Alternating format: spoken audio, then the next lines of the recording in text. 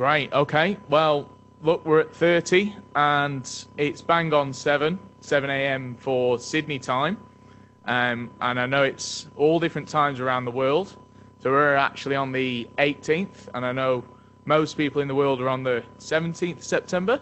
So welcome, um, and I'm glad uh, I'm glad most of most people have seemed to be finding the right date for it. So again, welcome to this webinar with the topic of disseminating research output to increase audience and outreach. The webinar is being co-hosted by three hosts. Uh, that is ISPAH, the early career network of ISPAH, uh, ISBNPA webinars, and also University of California, San Diego School of Medicine. And we're delighted to have a fantastic lineup of speakers today. Um, your chairs for today's session will be uh, Dr. John Bellettiere, who's based at UCSD, uh, and myself, as well as Rachel Sutherland uh, who and Rachel Sutherland and I are both based at the University of Newcastle, uh, close to Sydney in Australia.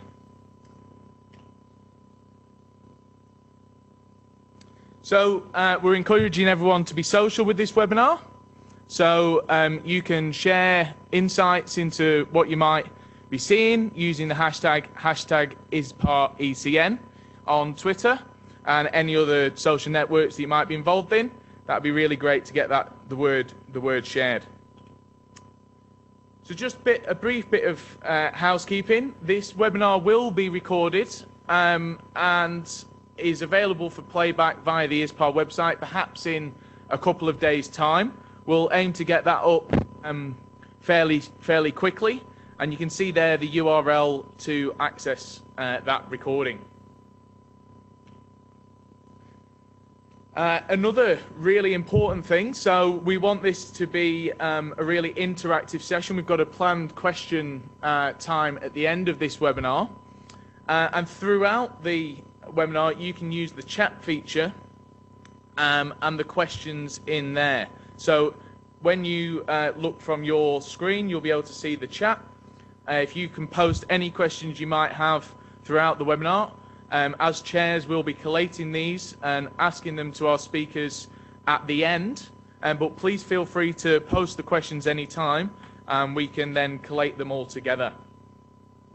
Uh, we'll go into it in further detail at the uh, after all of the speakers' presentations, but we will also have the opportunity to um, have an open verbal uh, discussion um, with all of our uh, people that are interested in asking a verbal question at the end, and we'll explain how to do that. Um, so I think that's it for housekeeping. I might hand over to uh, Dr. John Bellettiere at UCSD, who will walk us through today's presentations and topics. Thank you, Tepi, and thank you everybody for coming uh, to here at UCSD and internationally. Um, this research symposium is about research output dissemination, which is a very simple concept. Researchers work hard on creating new knowledge, and that knowledge gets disseminated to their networks. If there's a desire to get that information out to a broader network, say the public, dissemination is important. Some keys to research dissemination is to know what are the dissemination channels that are available, how you can interact with those dissemination channels. And what you'll learn today is that there's some steps that can be taken, strategize to better interact with those dissemination channels, to maximize your research output dissemination. So the number one message that you'll probably hear is that you need to plan ahead. And I know Heather is going to wrap things up here and, and really hammer that home. That's what I picked up from talking to all four of our excellent speakers. All the speakers are from three different continents. Um, the two speakers that are here today live in UCSD, one is from San Diego and the other one flew in just a couple of hours ago from the East Coast. So we're very thankful to our speakers and also to Matthew Tepi for organizing this event, as well as Alan for um, Alan Larson here at UCSD for really putting together a lot of uh, a lot of the organization. So without further ado, I just want to introduce the four speakers that we're going to have briefly. Uh, the first one is Euan Adie, who is in London at the moment, and it's 10 p.m., so we're especially thankful to Euan for staying awake and talking to us. Um, Euan's thirst for scientific knowledge and his um, bioinformatics skills back in 2011 led him to discover a method for measuring research output dissemination. And he later went on to found a company called Altmetric, which is one of the leading uh, providers of altmetrics. Euan's company's mission is to track and analyze online scholarly activity around the world. So Euan is going to open it up by telling us how we can measure our research output dissemination. Then we have Bruce Wilson, who's a triathlete from the East Coast and has spent his career in higher education and uh, non, non, uh, nonprofit publishing. Uh, Bruce, Bruce is the co-CEO of The Conversation, which is one of these media, uh, one of these dissemination channels that you'll, you'll learn about today that I personally think is one of the, one of the best methods for communicating our information that is generated by researchers to a wide audience. And Bruce is going to talk about how wide that audience is. And he's also going to tell us a little bit about how to interact with the company to better, uh, to maximize the ability for us to, to um, disseminate our research. Then we have Michael Wheeler, who is a researcher himself, finishing his PhD in the study of sedentary behavior and cognitive outcomes. Um, Michael also spent some time working at the Naked Scientist, which is a world leading science blogger and podcast network. And Michael's going to tell us a little bit about the inside story of what goes on at these, um, at, at, these uh, science communication hubs and how we can better interact with them. Finally, we have Heather Buschman, who is a fellow researcher turned into a science writer. And now Heather is the public information officer here at UC San Diego. And so what Heather does is she provides consultation on research output and methods for the best dissemination for each individual piece of research communication, sort of like a hub for research output dissemination. And perfectly suited as Heather was both a researcher and a science communicator, making her uh, very well qualified to be able to give us this type of information. So without further ado, I'm going to turn it over to Euan, who's going to start talking to us about uh, altmetric. Thanks, John. Uh, just share this. Hi, yeah, so as John said, my name is Euan Adie, um, and I'm from a company called Altmetric. Uh, I wasn't always kind of doing this kind of thing. I started out as a scientist, and then I worked for a bit uh, for a publishing company, for an academic publishing company. And what I was going to do in this talk is first uh, lay a little bit of the groundwork for why this stuff is important. I mean, it's always been important, dissemination of your work as a researcher, but why it's even more important nowadays. And then also talk a little bit about altmetrics, which is really, you know, to, to give you the spoiler up front. Um, one of the kind of new methods for measuring and, and getting a feel for uh, this kind of activity. So like I said, I'll, I'll lay the groundwork first, and that's really this. Like as probably everyone knows, traditionally we've been very good at recognizing and showing citations from these kind of things, so academic journals. Um, and you know, if you think about what we're measuring there, you know, we're thinking we're talking about our peers, one researcher using the work of another researcher. It doesn't necessarily say that it's good quality research or that they were building on it or anything like that. They could be citing it for any number of reasons, but it's used as a kind of a proxy, if you like, uh, for how good that other person's research is, for, for better or worse.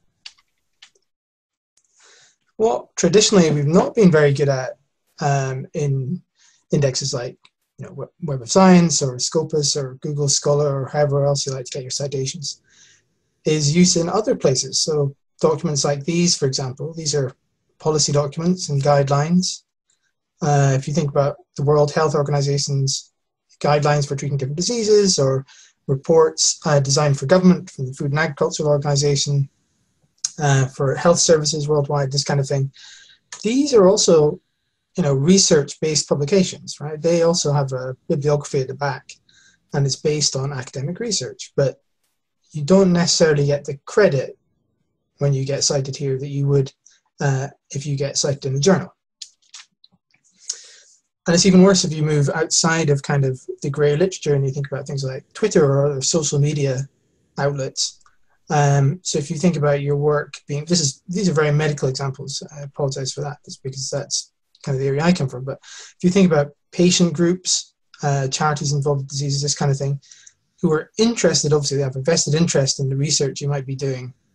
It's a good thing for your work to reach them, right? It's, it's useful for them directly, but you wouldn't necessarily get credit for it through citations, right? These are not indexed uh, in the same way as a journal citations. I mean, those were quite local examples, but you can think of an extreme one uh, to illustrate this point, which would be something like this. So this paper, uh, published in Environmental Research Letter, is being treated by Greenpeace to prove a point, and then it's being picked up by Barack Obama. So that that's an impact, right? Like you would think that that means something to you as a researcher. It's viable in some way. It's evidence, if nothing else, that what you're publishing is, you know, reaching people who can potentially change things. And I think it's important because nowadays research is assessed on multiple levels. So hopefully we all agree that quality is has to be the, the bedrock of it and everyone's striving to do good research. If you're not, then you know that's a problem not for this webinar. Um, there's also this concept of impact. And really that's being driven by governments and, and funders worldwide. Sadly, uh, mostly on the basis of you know having to allocate costs uh, which is kind of fair enough if you think about it. You know, you've got less money to spend on research. We've already said that the research we fund has to be good quality. What kind of other factors can be uh, brought in now? So one of this is this this new idea of broader impacts. That the work is not only going to be really good, but it's also going to somehow change society for the better. Change the way that's quite a, a high bar, but uh, you know, change the way people do things for the better. So if now we're looking for quality and this new impact, you know, how do we get from one to the other? Um, and then, you know, the overly simple answer is that you need the right people to see your work, right? The people in uh, public policy or the people in practice, because it's not necessarily about policy, it's also about people, you know, if you think about an ER nurse or an engineer or anyone who's consuming research and then doing something with it in real life, um, on the kind of more humanities and social sciences side, it's more about the impact you can think about as things like changing the way people think about a problem or they approach different problems. Um, and they're, you know, those consumers, how are they going to see your work? Somehow you have to get it to them. And there is this kind of idea amongst a lot of researchers that, that we've spoken to, and certainly this was my idea when I was in research, which is that once you've done the work, you know, that's it. My work here is done. I've produced the research. I now need to move on to something else, and it's somebody else's job to kind of take it and get it to the people who need it. And unfortunately, that's just not true. Uh, I'm not sure it was ever really, really true, but it's definitely not true now. Um, if you publish in a quite a, you know a high impact factor journal, by which I mean one that has like a lot of editorial staff and a press office, then you might get support from the journal um, and they might take and do something with it. But a lot of the time, it's down to you as a researcher. You're the person responsible, unfortunately, for taking work and kind of giving it a bit of a boost to try and get it in front of people. So, in terms of what's our altmetrics, so if we accept that research gets viewed and used in lots of different contexts, so obviously citations, but then the policy, on social media, uh, you know, present at conferences, any other uh, number of different ways.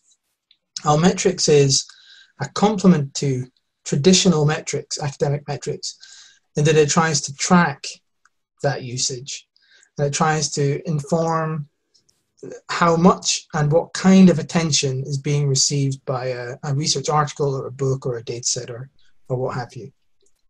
There's a few kind of misleading things about the name. So one is alt, which implies that it's an alternative to citations. It's, it's not at all. It's just one extra factor. Um, the other one is having metrics in the name implies that the field is actually very quantitative. It's all about numbers and indicators and measures. Um, but as we'll see in a minute, that's that's also a bit misleading. It can be a bit dangerous. Axial metrics is a combination. It can be both qualitative and quantitative. So it's important um, not just to look at how much attention something's getting, but also what kind of attention is and who it is that's saying it. And of course, like I said, it complements citation counts and peer review. It's definitely not a replacement. It's not a number you can kind of drop in um, for like a silver bullet that'll uh, solve a lot of problems. In practice, there's a few different ways you can access uh, altmetrics. Because I'm from Altmetric, confusingly the, the company, um, this is how we present it, and this is how you'll quite often see it on a, a journal homepage, for example, or a journal article page. So we have this kind of visualization and then a number in the middle. And I'm not going to go into a lot of detail about how this number is created, but basically we have a weighted score and we you know, say how many times is something mentioned in the news, how many times is it mentioned on Twitter, is it mentioned on blogs, Wikipedia, all this different kind of thing. And um, that changes the kind of colors of the visualization and it creates a score, which we call the attention score. And it really is um, the attention score. So if I go back to here and we say, okay, let's think of these different things that a paper can have, you know, quality, that's where the peer review part needs to come in. There's not really any way of measuring quality of the paper. Uh, attention, that's what this altmetric score is measuring. And then impact, that's where the more the kind of the qualitative aspect of it. So the number is there for attention because you can say how much attention something has. For impact, it's a bit more nuanced. So I'll come back to some of those points in a second, but um, to get kind of straight into it, how do you boost attention? If we say, okay, well, we want attention because we want it to get it to the right people so we can have some actual impact, how do I get the most attention? And unfortunately, there's not a great kind of shortcut to this. It involves work. The key thing is to do that quality, good, interesting work. That's always going to help. Um, some things is, you know, you're going to have a harder time pushing than others. That's completely fine. It's, you know, the attention is not the be all and end all of everything. Um, our suggestion is always to take advantage of the help available. Um, and I think we're going to hear about this later, but take advantage of the press office, the comms office in your department, in your institution. They want to help you. Um, if the journal does have, you know, the ability to help you, you know, ask the editor, ask the, the press office there. It's important to think about your goals and target a relevant audience. So again, I said that, you know, the amount of attention isn't necessarily the most important thing. And that's because if you think about it, um, depending on what kind of impact you want, you'll want to reach different people. Uh, the funny thing is with research, a lot of the time, different stakeholders come want different things. So maybe your university is interested in anything that can become a patent or be interested to commercial groups that can be commercialized. Maybe you're interested in reaching your peers um, for, you know, more for um, uh, developing the field uh, or your career for that matter.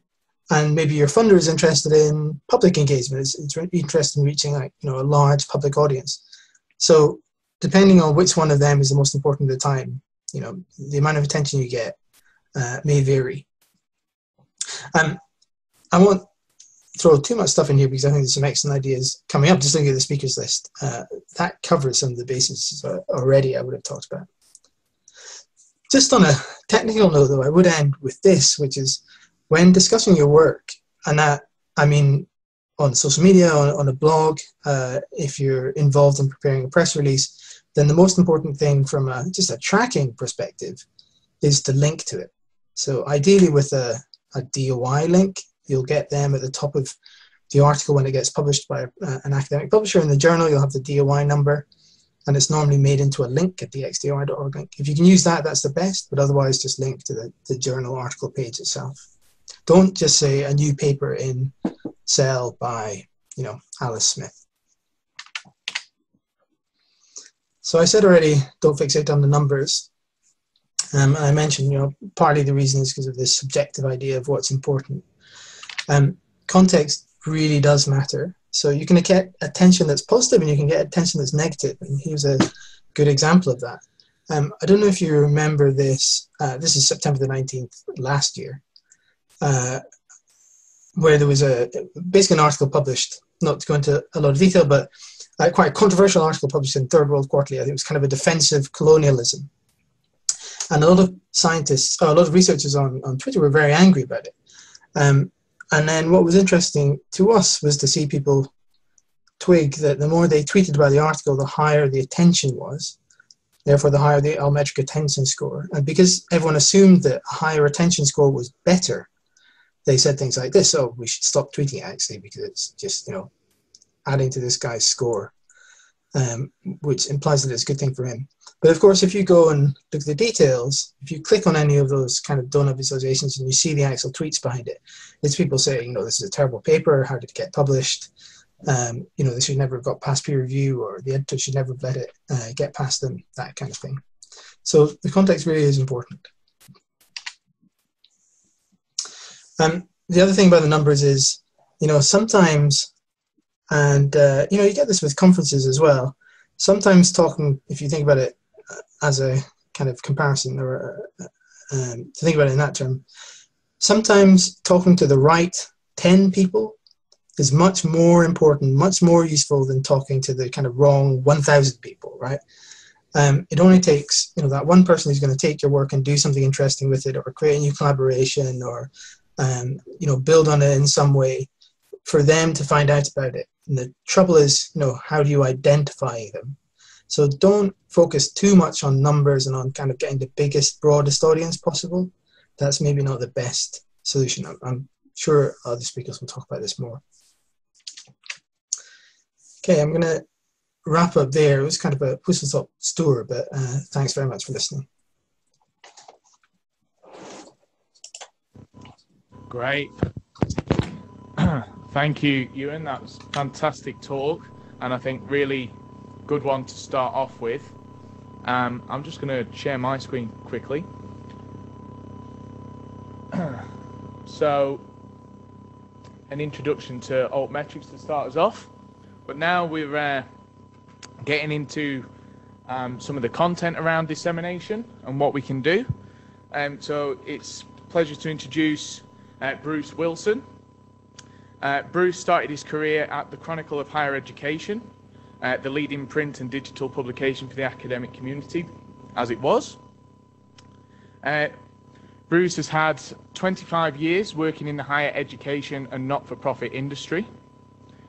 Bruce left um, NBC News uh, to become the linchpin for launching the Conversation US, and he brought on board in 20, uh, he was brought on board in September of 2014 as the executive director, and he is now the co-CEO of the Conversation US. Um, he has been leading efforts to build up the Conversation's presence in ac academic, not-for-profit, and media communities here in the US. Since then, he's built the university membership model, which now includes 60 universities and leads all efforts to increase the support of numerous blue chip foundations to more than 12. Um, and he's also been responsible for creating and running partnerships with the Associated Press, PBS, and the Aspen Institute. So it's my delight to uh, swap back over to uh, America and launch with Bruce. Thank you. Great. Can everyone hear me? Yes. Thank you very much. It's interesting to be following up uh, altmetrics, and matter of fact, you and I would like to speak to you at some point um, about how we might um, collaborate a little bit more together. So um, I'm very pleased to be here sharing what's going to be very difficult for me to do in 10 minutes. Uh, and I need to make sure I get a hand, a, a finger up when there's a minute left here. I will do my best. So, um, for those who do not know who the conversation is, uh, I could have had a lot more slides in here, but even before I get into this slide, it's important to note that the conversation was launched in Australia in 2011 at the University of Melbourne, and the group of eight um, largest research universities in Australia um, joined forces together uh, to help launch the conversation. Uh, it was so successful it is now one of the leading destination news sites in all of Australia, averaging over 3 million readers monthly. It moved on to the UK in 2013 and now has 82 universities in the UK supporting the conversation. And when I learned about the conversation, I was at NBC News at 30 Rockefeller Plaza and uh, immediately contacted the founder, uh, Andrew Jaspan in Australia, to say, if you're planning on launching in the US, I would like to be part of that. Um, but at this stage of the game, the conversation has now, in last month, in, in the month of August, had 36 million readers worldwide. And we are now in uh, France, we are in South Africa, Northern Africa. Um, we just launched in Spain, Canada, Indonesia. So the conversation has really struck a nerve with figuring out a way now that the news news industry is really struggling to have experts write uh, to the public. So we are now filling a void which we think um, has gotten bigger than ever. So um, our whole reason for existing, um, it's a new model that brings together academics and journalists. And it's important to note that um, each one of our journalists, and we have just editors in the US, we have 18 of them, uh, and each one of them is a former beat writer at a news organization or at a magazine. So, our editor of the business and economics section uh, used to be at Bloomberg News and at the Wall Street Journal. Our head of health and medicine used to be the health and medicine editor at the Atlanta Constitution. We have people that have been at um, numerous other media outlets. And so when academic gets um, merged with that, when they collaborate with an editor, they know what they're talking about. We don't have um, uh, generalist working with somebody who gets very involved in, especially in the health and medicine area and science area. You need to have people that know what their author is talking about. So we, the whole goal of this is for the public good. So all academics, obviously research is critically important uh, and tenure is incredibly important and their jobs are to, to do research and to teach students. What we do though is we leverage all of the um, intensive work and research that's been done to share with the public because to be perfectly honest with you, the public needs the university academics far more than the university academics need the conversation. But if not the experts that are sitting on college campuses actually who really are studying the important things that are going on, in some cases, curious things. There are no more experts left except for in very few news organizations, which is why this is all about the public, and the public needs trusted information. So we are not for profit, 100% not for profit you will notice, and I know even here at UC San Diego, a number of our original foundation supporters also fund research here on campus. Um, and so some of these names, and we are very fortunate in the US, which is not true in the other countries, we have these big foundations that fund incredible amount of research on college campuses. Matter of fact, without these private foundations, a lot of great work would never happen. Um, but the reason they fund us is because the research that they fund in academia, they want it to be shared with the public. And that is what why these other ones, and you may notice, recognize some of these names, Carnegie, Ford, Simon Foundation, the Henry Luce Foundation, the Mellon Foundation, um, all of these foundations are the backbone of why we exist. So they fund over 50% of all of our um, our, our budget, and the other 50% comes from universities. And the other countries, most of the research, um, most of the funding to support the conversation is all from the universities. So we think uh, data is really, really, really important. And we have a incredible CMS system. And these are not fake numbers. We can actually watch a story go viral and see it go from 52 readers within the first 10 minutes of the a, a story being launched um, to 55,000 readers sometimes in a day. And it's incredible to be able to watch that. And the reason for all of these numbers, uh, in the last year, 91 million just here in the US alone. Um, and we only did 608 articles in the last 90 days, but they average almost 24 million readers um, uh, during that time, and each article averages close to 40,000 readers per article. So if you ask an academic when the last time is that they had even 10,000 people read something that they wrote, not very many of them, except for op ed pieces, have seen that. Doesn't mean that's the most critical thing, but it is getting access to people that typically they may not ever have read anything from them. And the average article gets over 21 republishers per article. So that is the beauty of the conversation is that when you write for us, you get readers on our site, but then it ends up in places, and I will share that in a second, but like the Washington Post, Scientific American, Smithsonian, The Guardian, um, Salon, and also lots and lots of local newspapers. I mean, when you come to think, talk about things like the opioid uh, crisis, um, geriatrics, dementia, Alzheimer's, little local newspapers no longer have experts that ever can write for them. The only people they have that can write are consultants, parents. We actually bring a researcher from UC San Diego or Johns Hopkins right to a local small newspaper. Really, really, really important. So um, to get into this whole idea of why write for the conversation from the academics perspective, we did a survey very recently. This is very new data where over 700 authors of the conversation answered this survey. So this is not a small sample size. And as you can see, 43% were approached by other academic for other academic collaboration. 31% increased citations of scholarly articles. Um, they use the articles or metrics as part of grant funding. They influence policymakers. 41, 51% were asked to speak on radio interviews, print outlets, write other articles, requests for TV interviews, and 7% book proposals. So we have nothing to do with this. This is not something that we go out and we pitch. And the interesting thing about altmetrics is we've started seeing more and more frequently academics sharing with each other that their altmetrics scores have gone up significantly every time they write for the conversation. So if you can all see this, every author gets a dashboard. And this is what the universities and the academics themselves love. So if you look at this dashboard, this person's written three articles, and between them, they've had 591,000 readers. And if you go down, um, if I can scroll down, I mean, if you look to the right hand side, you can see Washington Post, Newsweek, PBS NewsHour, Salon, Science Alert.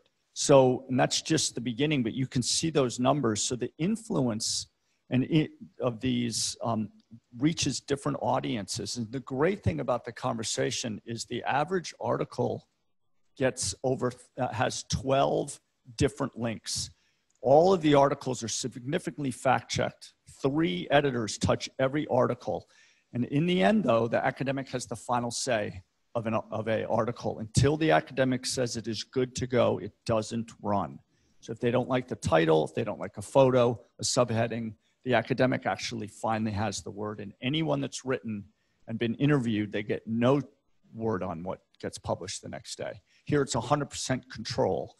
And the great thing is that each of these articles on average gets um, has 12 links to secondary research for papers books um, other articles have been written so we and, and when that gets picked up by another publication they have to take the entire story can't edit it has to take every single link and those links have to be live and at the end of every article at the beginning or at the beginning it has to give reference to who the academic is, their university affiliation, and what their title is.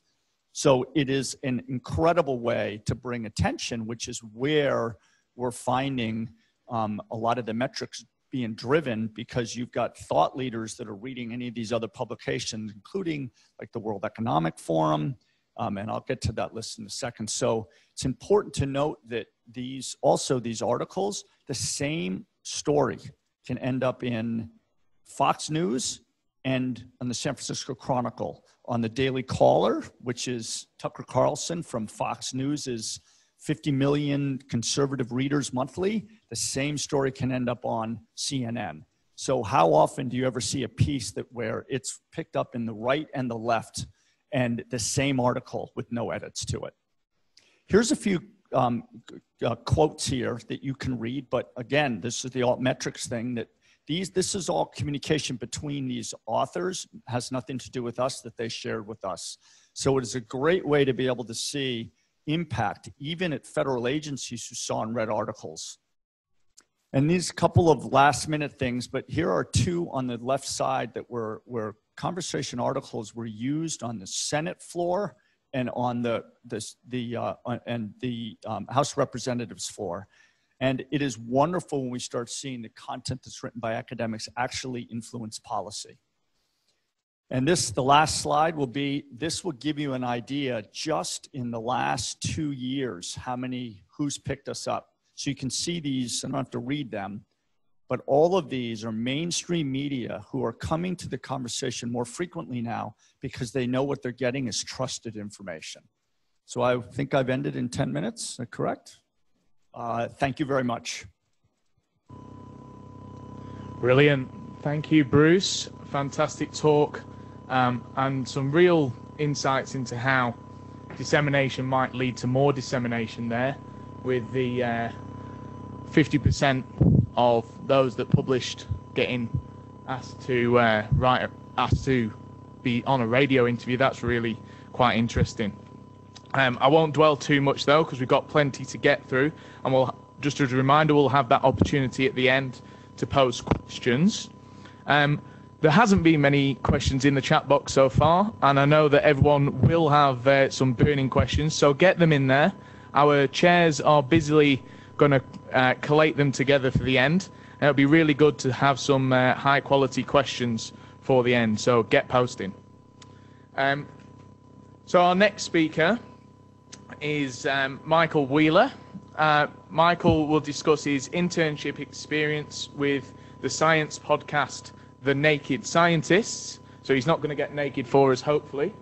Um, based in the Cambridge, UK, the, the Naked Scientists is. Michael will share some of his operational insight into the industry of science communication and how it works in conjunction with the world of scientific research. His talk will focus on the importance of disseminating the message uh, of a piece of research. So Michael studies his undergraduate exercise science at Dublin City University in Ireland. He's currently completing his PhD in the topic of sedentary behaviour and brain health, which is a collaboration between the University of Western Australia and the Baker Heart and Diabetes Institute in Melbourne. So without any further ado, go for it, Michael. Thanks, Tepi. So thanks for the opportunity to speak today. Um, I'm currently a final year PhD student, but about 10 months ago, I was working as a science journalist on internship with a group called the Naked Scientists based in Cambridge in the UK. So today I'd like to share some of the things I learned from that three month experience, uh, really relating to the overlap between science communication and scientific research. So just to give a quick overview of what I'm going to speak about, um, I'd like to give a, an operational insight into how the world of science communication and the world of scientific research work in tandem. Um, I also want to share an example of some work I did while in Cambridge and finally leave you with some take home messages on how to get involved in science communication as a researcher. So, the Naked Scientists are a uh, science radio show that produce radio programs and articles. They're broadcast uh, over the BBC in the UK and the ABC in Australia, and content is also published online. Uh, and they have a weekly reach of approximately 1 million people. Um, so essentially, when it comes to making science radio programs, there, there are two main jobs really. Uh, the first one, which is what I'm demonstrating here, is uh, presenting, which is essentially doing the talking. Um, but that really only takes up a fraction of the time compared to producing, which is everything else from finding scientists to talk to, uh, to editing audio from interviews, um, and even writing a script for yourself or someone else to present. Um, and what we worked towards at the Naked Scientists was um, essentially to create a uh, one hour radio show every week. And that radio show was split up into two halves. So we had um, the first half being a coverage of the science news, and the second half or back half being a more in depth look at a given topic that, that was not necessarily timely. Um, so on Monday morning, we'd come in and we'd check the, the science news to see what was um, being published. And what we would do is we'd try and make initial contact with authors uh, to see if we can organize an initial research call, which was an unrecorded chat. Um, so that was our first contact, and we, we used that essentially to assess the potential of the story. But we would also assess the potential of the speaker to see if they were able to explain their story um, well. Uh, and finally, uh, if if we were happy and we wanted to run with the story, we would try and book a radio studio uh, for a recorded interview. Um, so what we used there was um, we, we, recorded our interviews over what's called an ISDN line, which is essentially a special phone line uh, found in recording studios that allows us to speak to anyone from around the world um, and record the conversation with the same quality as if they were sitting beside you in a studio. So, as a researcher, it's good to familiarize yourself as to whether your university or research institute has an ISDN line, um, as you may be asked to give an interview over ISDN. Um, and the good thing about um, recorded interviews uh, is that um, it, it, can be edited down. Um, so we used to record about 15 to 20 minutes of conversation, but we would edit it down into a four minute audio clip. So you don't have to be nervous if you're doing a recorded interview. You can always um, repeat something if you haven't explained it well. Um, and I think that's uh, um, that's something to um, kind of relax you a little bit more about dealing with the media. Um, also, with the news stories, we would write them up as articles for publication on the website.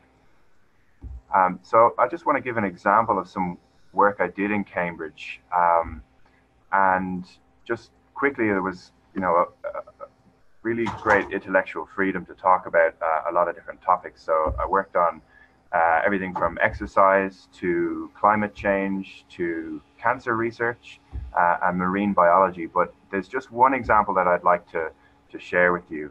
Um, and this is a news story I covered while I was with the Naked Scientists. And it's a publication about climate change.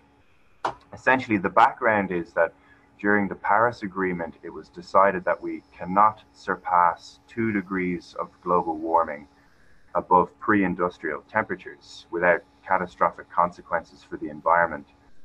But we, we should really try and limit warming to 1.5 degrees above pre industrial.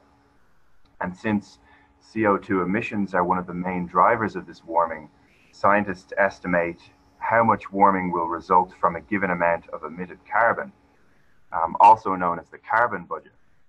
So at the time of the Paris Agreement, um, the estimates were that we had about four years of current carbon emissions before we surpassed 1.5 degrees, um, which was essentially a, a geophysical impossibility. Um, now, this paper made uh, a big impact because it was a new best estimate uh, for how much carbon we could emit, and uh, it, it, gave us 20 years of current emissions before we surpassed 1.5 degrees.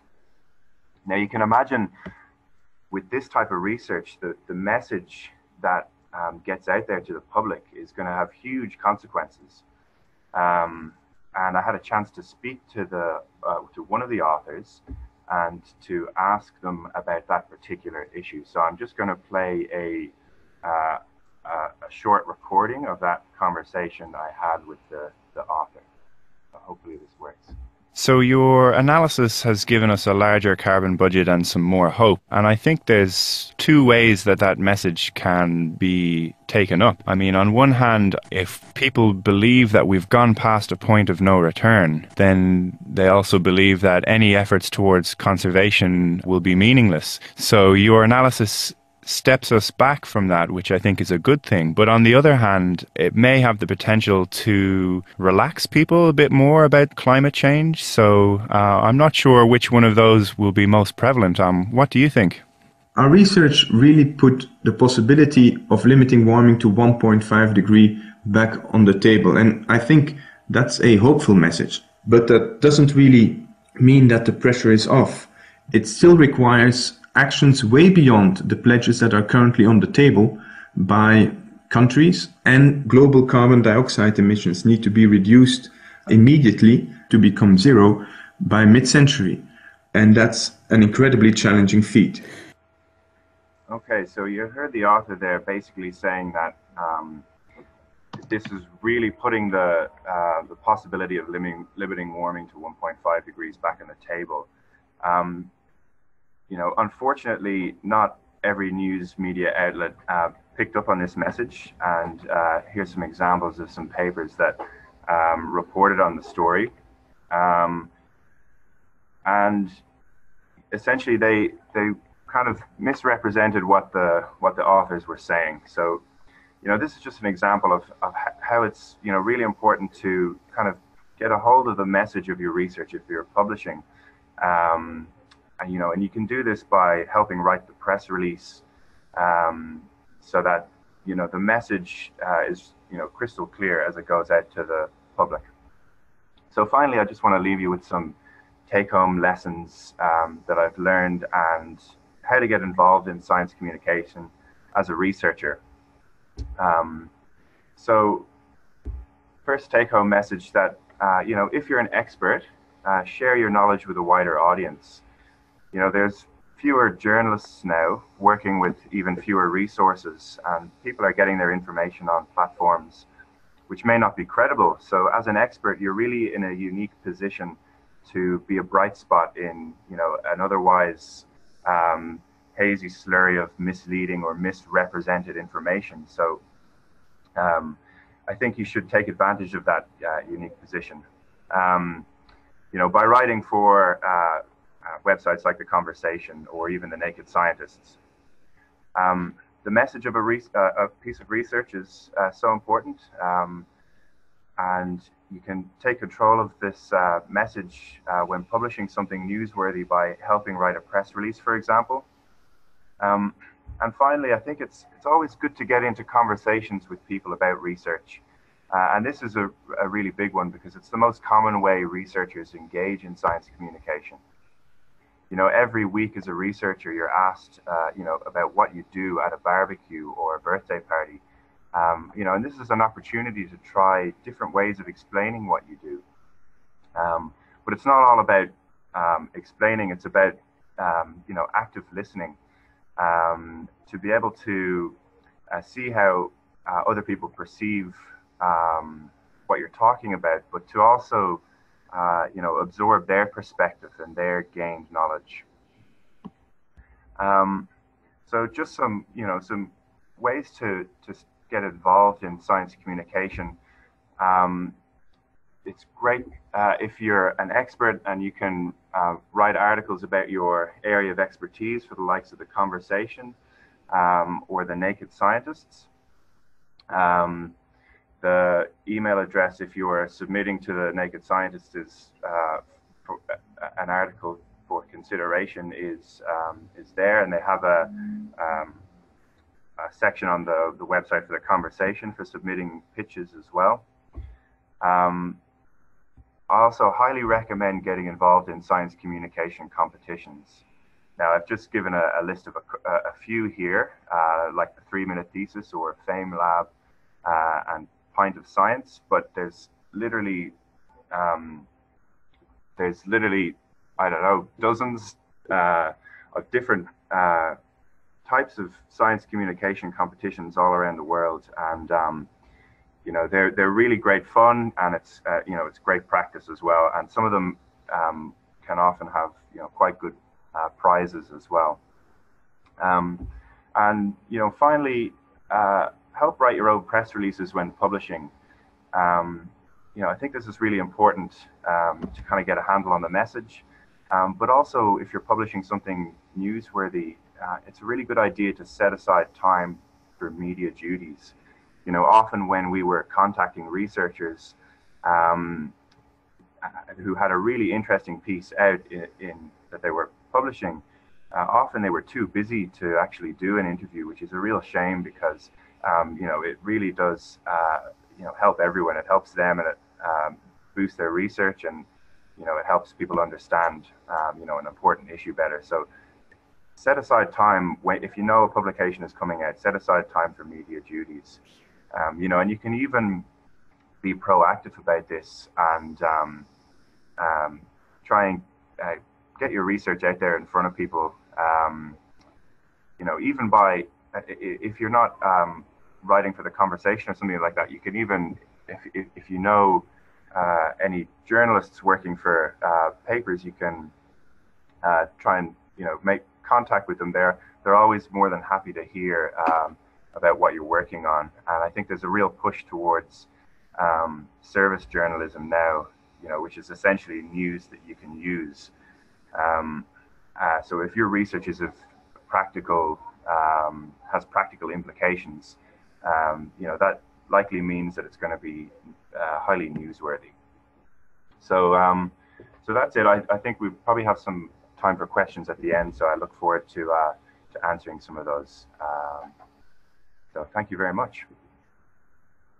Great, thank you, Michael. Um, and I'm sure that yeah, there will be many questions at the end. Um, we've already had a few started coming through, which is fantastic. Um, you can if you're a bit shy and you're not wanting to post it in a public group, um, which may be the case, uh, you can send it to just us as what Zoom terms panelists. Um, panelists you can send through and we'll be able to see your question. Um, if you want it to be anonymous, that's absolutely fine. Just just make that clear. Um, so our next speaker, our final speaker for today, is Dr. Heather Buschman. Heather has 12 years of experience communicating science to non scientists. She earned her PhD in molecular pathology at UC San Diego and completed a health communications internship at the National Cancer Institute's press office. She spent her first years away from the research bench as a science writer and communications manager at the Scripps Research Institute. We're really fortunate to have her because she's currently the senior, senior communications and media relations manager for UC San Diego Health, where she translates complex research findings into lay friendly stories in the form of press releases, newspaper articles, magazine pieces, videos, podcast episodes, and more. So we may well hear about some other modes. Over to you, John Heather. All right, thank you. Am. Okay. I'm in the box labeled Alan Larson back here at UC San Diego. Um, like was said, I used to be a scientist. I'm now a professional science communicator and writer. Um, so I'm very passionate about this topic and particularly about increasing the public's understanding of science. So it's perfect that I come last in this panel because we've talked a lot about what you can do as an individual researcher to reach the general public, um, which are all things I encourage you to do. But now I'm going to tell you about how, how, and why you should get to know your PIO, and that is me, a public information officer. Um, and that is so that we can help amplify everything you're doing through all of our channels. So I'm, of course, going to focus on um, some examples of what we do here at UC San Diego Health. Um, and I, so I cover um, with my team, we have a team of uh, seven in our communications department that covers uh, our whole health system. So that's our whole clinical enterprise so hospitals, clinics, then um, our two professional schools, the School of Medicine and the School of Pharmacy, and all the research that goes on there. Um, but I want you to know that no matter what institution or university you're at, I promise you, you also have a public information officer. It can be a little confusing because our departments go by a lot of different names. So you might have a communications office, media relations, um, public information, public affairs, public relations we pretty much all do the same thing, and that's two main buckets that I like to think of. Um, one being our owned media, and so that's me writing, podcasting, producing video for all of the various channels that we own as an institution. And then the other bucket is earned media, and this is the work I do in media relations to help connect you and your expertise to um, outside media outlets. And so a little bit about what that looks like. So here, um, like most institutions, we have a newsroom page. So this is health.ucsd.edu slash news, and this is where you can find most of our owned media channels. Um, so that's press releases. We have news features. Um, there's a feed here from our YouTube page for videos, a feed from our Tumblr blog, um, all kinds of things. You can find my podcast from here. Um, we also contribute to even more owned media channels on the main academic campus. And one of those first things I mentioned was a press release, and that has also been mentioned in a couple of the previous uh, presentations. And so I want to take a minute to give a little definition to that because I think that's a term that gets thrown around a bit and not always necessarily understood what it is. So it's a very specific thing, right? It is intended for members of the lay media, and it is our chance, um, your communications office, your public information officer, to provide a short lay friendly summary to members of the media, to reporters, journalists, news outlets, and hopefully pique their interest in that piece of news, in that research, in you, so that they will request interviews and write, do their own reporting. Um, of course, as we know, as newsrooms shrink, um, uh, uh, media uh, um, in-house staff, um, outlets rely more and more on us and rely on press releases more and more. So there's more and more pressure put on them. Um, I will say that press releases do get a bad rap for sucking um, and not being honest or accurate, um, hyping things. I will say that they don't have to. We do a lot um, in our team to make sure that press releases are accurate while still being interesting, hopefully. Uh, so what, what it looks like is, of course, what most people see and just think it is, is, oh, you've written an article and you put it on your institution's web, uh, website, right? So here's an example of one of my favorite press releases we did last year. Um, and that's true. It is an article on our websites. We do share it through uh, um, other owned communication channels like our social media. But the big difference here between this and any other sort of just web article is all the behind the scenes work that goes into distributing that to um, local, national, international media outlets. Uh, so here's an example of earned media. So press releases being kind of that bridge between our owned media, and then it's the currency that we use um, most. It's not the only one, but it's a, a, a mechanism we use to reach out to and attract earned media. And so you see this kind of stuff every day. This is just a snapshot of just a few months' time, just our people from our Skaggs School of Pharmacy and Pharmaceutical Sciences and some of the um, mainstream media outlets that they, they appeared in. So, what makes news? So, um, I, am sorry to say that not everything that is important in um, a particular scientific field is going to be lay public. Um, so, we do um, put a high value on the things that will interest the general public. And those can be research papers. That is um, kind of the bread and butter of what I do is learning about new research papers that are coming out um, and writing press releases or other communications about them. Um, and research papers, I think, make it easy to be news because they're inherently newsy in that there, there's a, a timeliness to it. There's a news hook. It's coming. It's new and it's coming out today. Okay, but there's lots of other interesting stories we can tell about the people who do work, and then there's also um, what, what is sometimes called newsjacking, which we like to do, which is taking advantage of current events um, and things going on in the national news where we might have local experts who can comment on that, right? So here's some examples here. Remember the dress on social media, or more recently, the Laurel versus Yanny.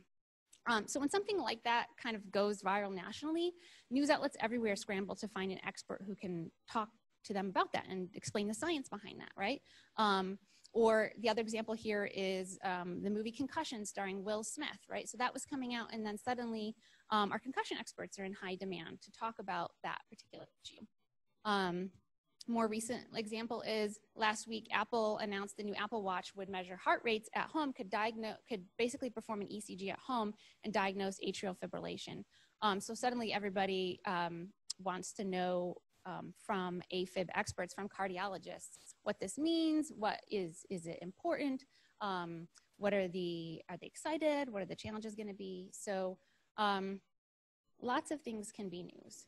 Um, but I also want to take a moment to mention some things that do not make news, and, and I am specifically referring to in the general, to the general public in mainstream media, right? There are places in trade publications for some of this stuff but we do not typically write press releases on um, incremental research findings, review articles, most method papers.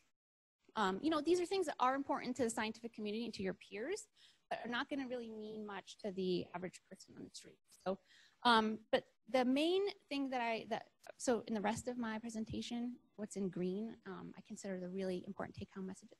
So um, one thing we struggle with a lot is that papers that have already published online more than a couple days ago is old news.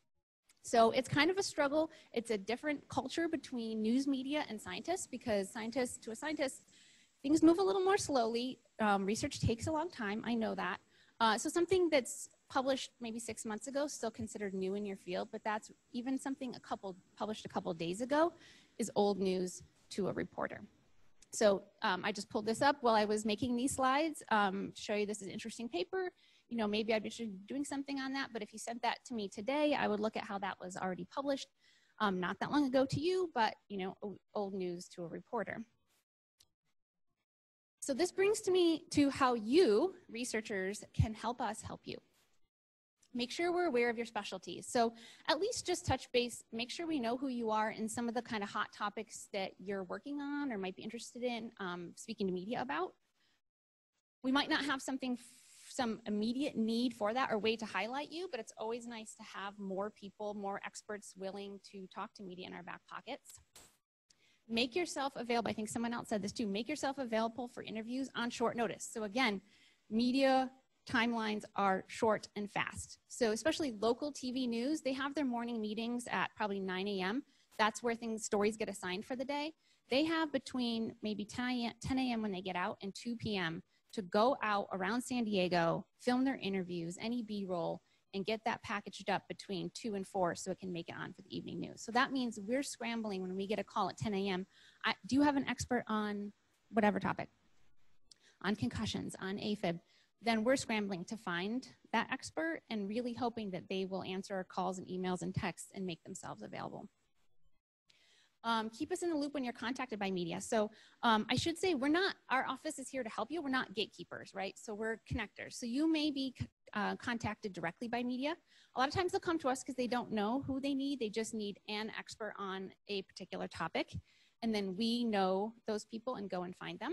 Um, but sometimes they will find you, especially if you've written in the conversation or you know you've put yourself out there in other ways and are starting to become a subject matter expert. Um, if you have your own website, if you're tweeting, um, and that's great. But please do keep us in the loop so we can help um, vet news requests for you, right? So we've worked with a lot of different reporters. We kind of know their quirks and can advise you. Um, if you haven't heard of a news outlet, we can help vet that for you. As we all know, especially these days, not all news outlets are equal. Um, just because you haven't heard of one, though, doesn't mean it doesn't have a huge reach um, and would be a great opportunity. On the other hand, one you might not heard of, and these are real life stories, could turn out to be state owned Russian TV, um, which we don't need to do, uh, or um, sponsored articles, right? So a company hiring a writer to write a sponsored article, um, basically paid media.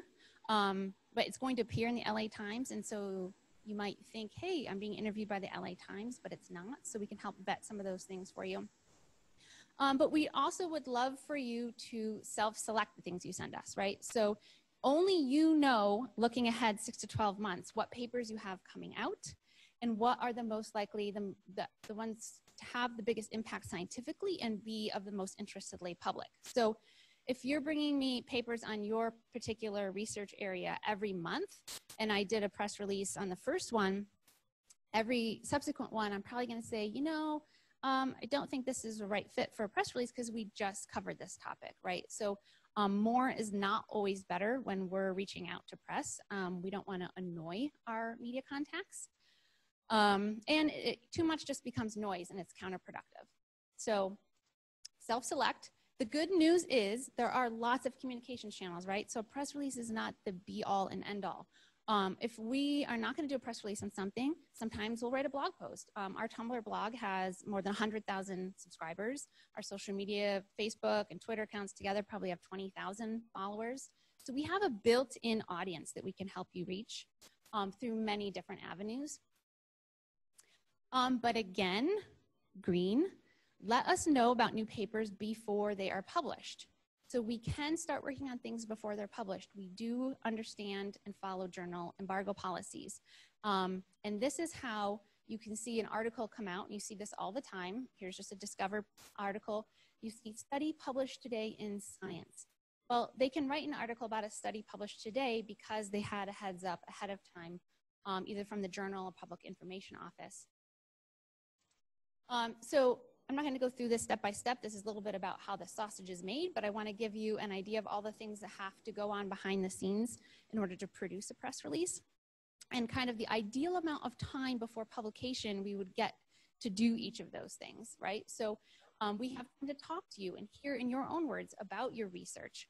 Um, we draft the press release. You can take a first stab yourself if you want to, um, but we are here to do that for you. Um, we can coordinate with other institutions and departments. We have to have other people review. We will always share with you to review, same as um, the conversation. We're not going to put out anything if you, as the main researcher, are not happy with it. Um, and then this gives us time when it's all done several days before the embargo lifts and the paper publishes to begin pitching that to reporters and posting it on um, media distribution sites ahead of time. Um, so media distribution site, the main one being AAAS's EurekAlert. So our, as we as an institution have a subscription to this that allows us to post our press releases, as do many, many other institutions and universities, and it's kind of a go-to place for science news. The great benefit is we can post things ahead of time while they're still under embargo, and then they're only accessible to credentialed journalists who have a login and agree to the embargo through EurekAlert. So this is how we can all work together ahead of time without breaking the embargo so that everything can go live nicely on the day that the paper publishes. All right, so then quickly some tips on communicating your work um, to the media, but really to any lay audience. So remember your audience. They all they want to hear from the beginning is why should I care? So get to that factor of your research first. Um, you know, before going into details about some um, new material you're working on, if you're a materials engineer, first mention what that potential application for that is, right? Like connect it to my life before going into details. Um, use simple words, avoid acronyms. Of course, we know to not use technical jargon that people don't know. But I think in academia, we tend to use words that are overly fancy. So I have a coworker whose biggest pet peeve is when we write that something increased efficiency. And she always says, why don't you just say it works better, right? So just speak conversationally. Um, if you're enthusiastic about your work, um, the people listening to you will be more interested. Enthusiasm is infectious. Lead with your key points don't assume something as common knowledge. So I hear um, terms like cell signaling pathways and cell receptors thrown around all the time as though they're household terms, but they're not. Um, be conversational. Mention where you work. Work that in. A lot of news outlets, um, just for space and time, will drop off your affiliation, believe it or not. So it's not just for us because we do want UC San Diego's name out there, but um, it also adds credibility to you. And remember, in the end, your written quote or soundbite is probably going to be very, very short. So, scientists talking to other scientists looks like this. This is every paper and scientific presentation you've ever seen. They start with the background, then get down to the um, techniques, the rationale, the data. Here's what we did, and then end with, and here's what we found. Main findings one, two, three, and perhaps the last one is the most significant. You want to completely flip that pyramid around when you're talking to non scientists, right? Start with that main takeaway. Don't worry about spoilers. Go ahead and spoil it. What is the main takeaway? This is how I write um, press releases, right? I get out the, the who published this, what is the main finding, where was it published, when was it published, right, right, right away. Unfortunately, a lot of people are not going to read beyond your headline, so you have to get the main point out there and in the very first couple sentences. All right, now a couple other things to remember when talking to media. I'm not going to go through these one by one for the sake of time, but in short, anything you say can be quoted. Okay, um, and editing is out of our hands. So whereas for when you're working with our office or the conversation where you are part of the editing process and you get final say, that is not the case when you're working with um, say a newspaper or a magazine okay? They have freedom of the press. They have a certain code of ethics and a lot of them have policies to not show quotes or passages to um, sources before publication. Um, of course if there is an, a factual mistake we can ask for a correction um, don't be surprised that a good reporter will also find an outside expert to comment on your work and again we can't control who that is or what they may say But my, my biggest takeaway when I'm doing media training is when in doubt, bridge back to what you know best. So um, if, if the reporter's sort of getting the conversation and the questions a little off topic, maybe it's not necessarily controversial. Maybe it's just that you're getting outside your area of expertise. Um, don't ever just say no comment. You know that that always sounds like you're hiding something. Um, but just bridge back. This is what politicians do when they're asked a question, but they'd rather stick to their talking points. Um, you say, great question. Um, but what I think is really important is X, Y, and Z. Get back to your topic. So that's my kind of takeaway point. Um, and then finally, again, just if you're interested in working with us, if you want us to know you, if you're contacted by uh, media, reach out to your public information office. Um, for us here, UC San Diego Health, this is our number, and there is a contact journalist page on our website. It shows each of us, um, each of us public information officers in the different beat areas that we cover. Right, thank you. Brilliant. Thank you, Heather. Um, in the interest of time, um, I'm just going to go straight in and to our question stage. So, um, bear with me.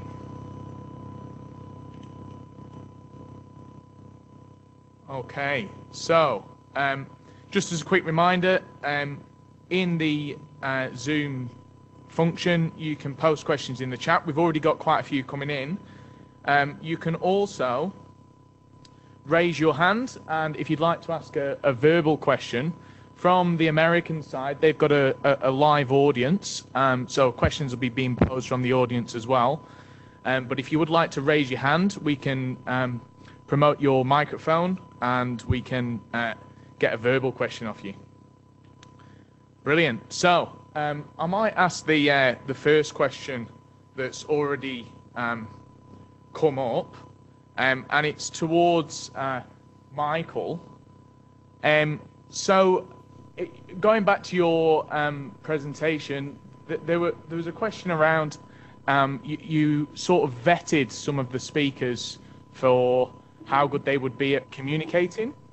Yeah. Um, what was the kind of balance between g- good and bad speakers, t- to put it that way?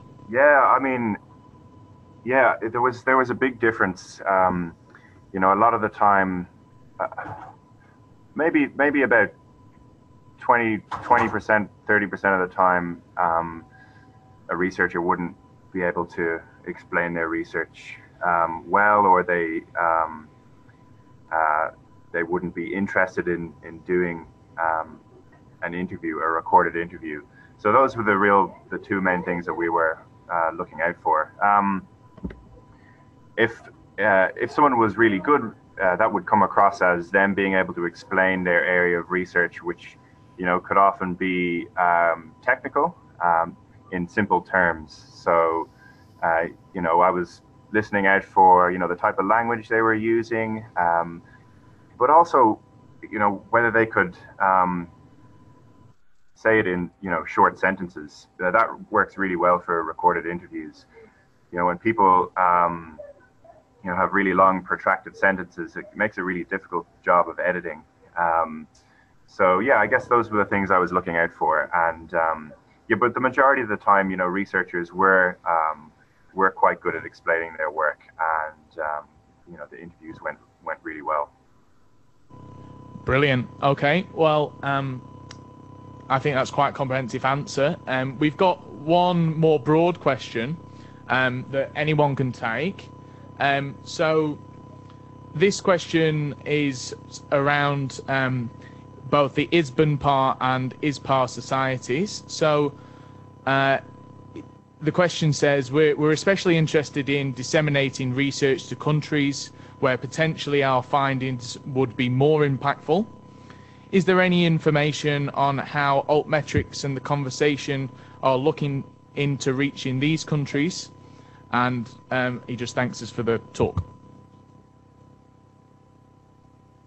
Do you want me to go first? Well, I have the microphone, so I guess I will.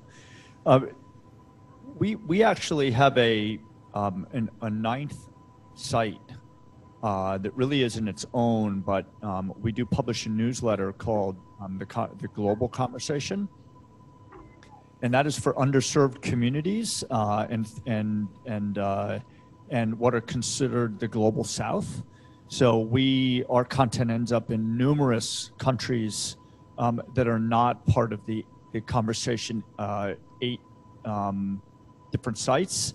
And so this is very important to us. As a matter of fact, the reason we got funding from the Carnegie Foundation, uh, Carnegie Corporation in New York, actually, uh, is to have our content, this very important content, especially in the area of health and medicine, reach um, those communities that don't typically, um, you know, get access to this. So, if anyone's interested, uh, I can. I'm happy to connect them with the editor of this section, uh, who actually resides in New York City.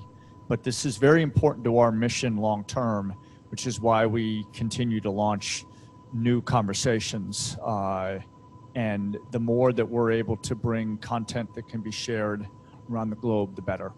So that would be something would be very easy to just connect with me, and I will then send them to the right place.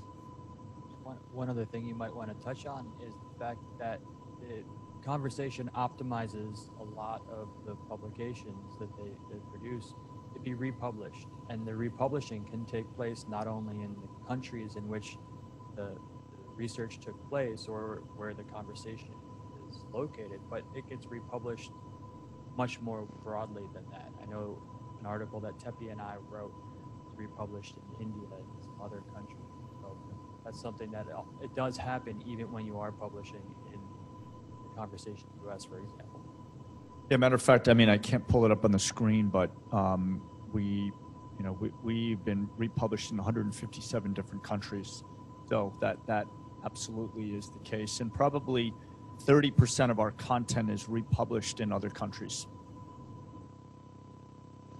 Brilliant, thank you. I might do one more question from our side, John, if that's all right, because um, it's a, a, really good question um, and one that the speakers might fight over.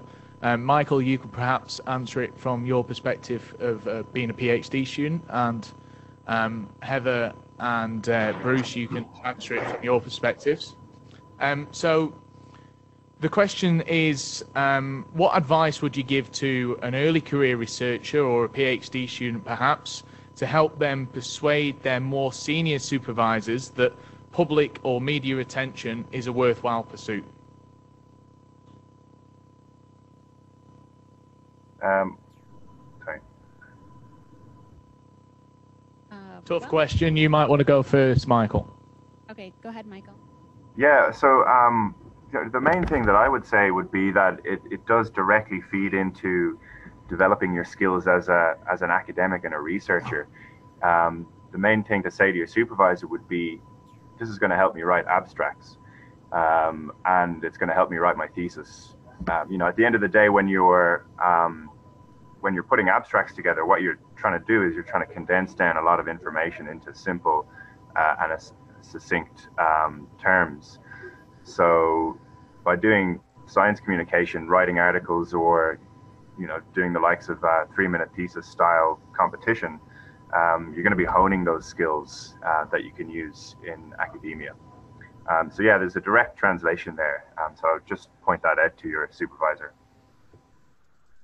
I actually really liked Bruce's slide with all those um, the metrics on how and said what's happened after they published in the conversation and leading to um, new research collaborations or um, you know, um, funding, concrete things that a that your that your senior researcher, your mentor, are really going to love.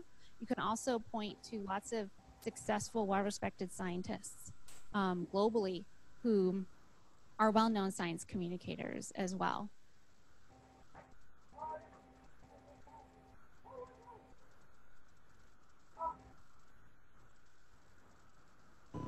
Brilliant. Well, I might hand over to America and to John if you want to take questions from the floor. We've got a few questions potentially from the floor here too, but you go first. We'll start off with this with one question. It goes to Bruce.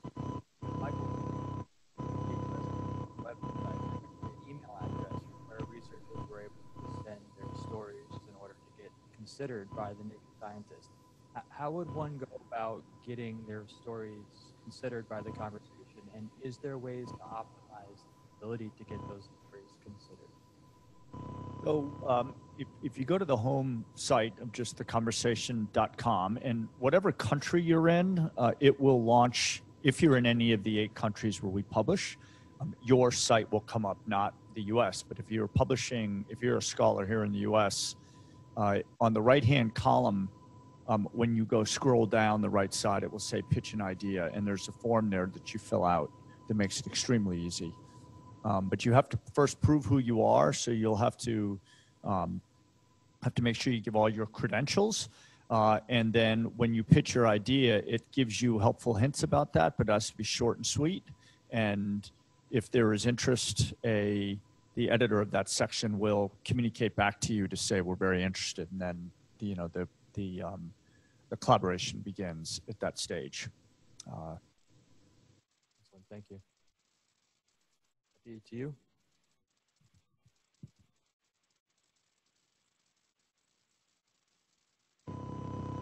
No more from your room, John.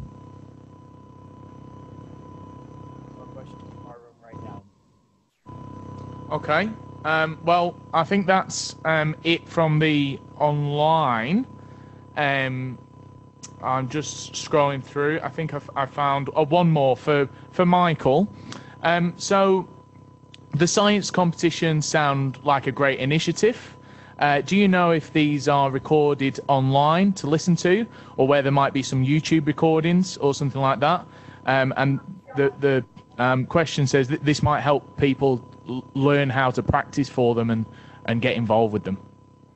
Yeah, definitely. Um, you know, I think most of the um, presentation style competitions will have the presentations recorded. Um, uh, if not um, all of the presentations, definitely, you know, the, the finalist um, presentations.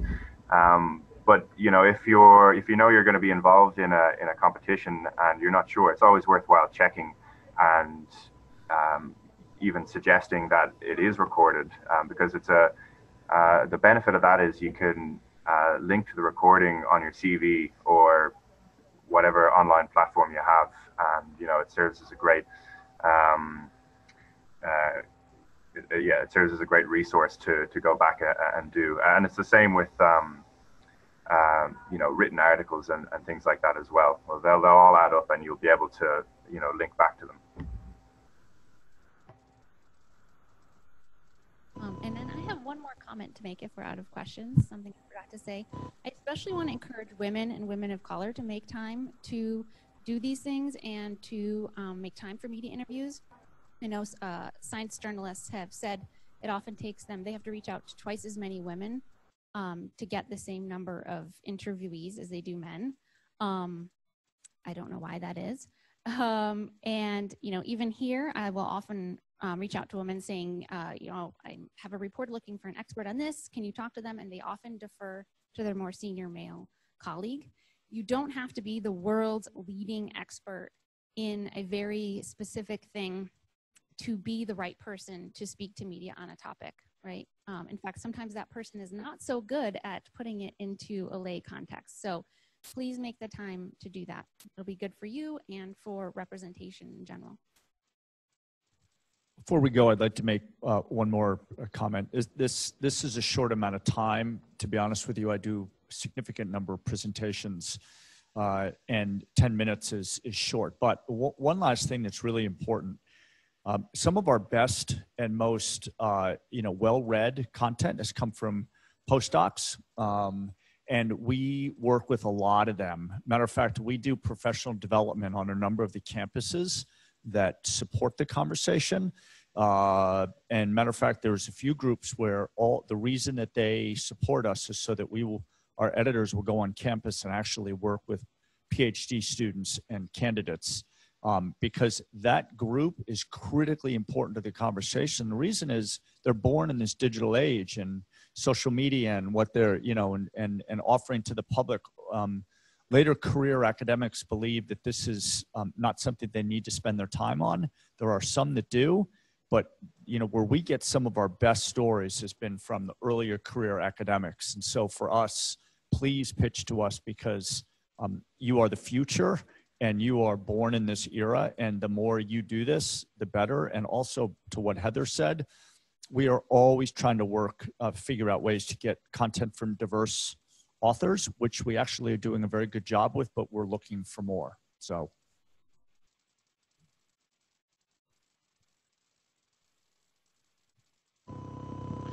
Brilliant, thank you. Um, it's just one more question coming for Euan, um, and it is around um, what uh, what are the new avenues? Because I know that Altmetric is continually adding in uh, new metrics. Um, so, what's the new things that we can expect to come um, in the coming months and years? Uh, well, uh, that's a good question. I mean, I can say what we've been focused on most recently, which is around um, things like patents. So, you know, is your research being picked up uh, potentially in a patent, and then how is that patent being licensed and used in a product? Um, and then the other thing is around policy, which I already kind of mentioned. It's it's a bit difficult to kind of look ahead years because in some ways we're restricted by what data is available to us. So you can have a really good idea for oh, if only if we could track you know X, that would be a really help us help give us a really good insight uh, into how the work is being disseminated. But the problem is, you know, we have to license all the data. We have to make an agreement with Twitter. We have to make an agreement with Facebook. You know, have to find a way of getting blogs with uh, licensing news content, all this kind of thing. So, unfortunately, to some degree, it's a bit uh, reactive rather than proactive. Yeah. Okay. Yeah. That's um. It, it is hard to predict, I suppose, and of course, there's always new channels coming out and new modalities. Um, it, the conversation obviously been um, a big, big one that's come out in the last ten years, um, and I'm sure there'll be more to come. Um, I haven't had any raised hands um, recently, so um, if if that's it from questions your side and questions online, I may just do a quick wrap up. Just confirm that, John. Absolutely. I just but before you do a quick wrap up, I, I'll do a quick wrap up on this end as well. And I just wanted to thank our speakers for coming out today, both the ones that are here live at UCSD and all the audience members that came out live here to UCSD to uh, join us for this webinar. Um, I also want to thank the funders here um, at the University of San Diego, uh, UC San Diego School of Medicine, and the UC San Diego School of Medicine's um, Center for Excellence in Women's Health, uh, who, who definitely provided us with some excellent support from Alan and um, to, to, make this happen. So I'll send it to you, Tepi, with a final thank you also to the online presenters, Michael and Euan. Brilliant. Thank you, John. Yeah, and uttering that from our side, uh, ISPAH Early Career Network, really like to thank all of the speakers. Um, we just have a quick few points. So in the, um, in the chat feature, I've just posted a quick link uh, to a short evaluation survey. So the survey that we ran for our last webinar, which was only recently, um, hopefully um, we've acted on quite a bit of that feedback. Um, and hopefully it's been a, a, a, really good experience for everyone online as well as in person um, in America. Um, I would urge you uh, to join ISPAH and the Early Career Network um, particular um, and join our events at the ISPAH 2018 Congress if you are coming. Um, and a basically final big thank you to America uh, and particularly to John for hosting from your side. It's um, been a pleasure to do the triple hosting of this webinar and get such a fantastic lineup together. Um, that's it from me. Thanks very much, everyone. Right back at you, Tepi. Big thank you to you as well. That's a wrap.